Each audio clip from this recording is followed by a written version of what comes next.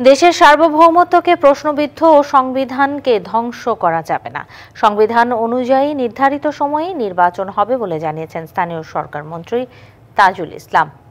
দুপুরে কুমিল্লায় সিসিএন বিজ্ঞান ও প্রযুক্তি বিশ্ববিদ্যালয়ের প্রথম সমাবর্তন অনুষ্ঠান শেষে সাংবাদিকদের তিনি আরও বলেন, সংবিধানে মৌলিক অধিকার ও করণীয় নির্ধারণ করা আছে। একটা স্বাধীন দেশ হিসেবে দেশ ও সংবিধানকে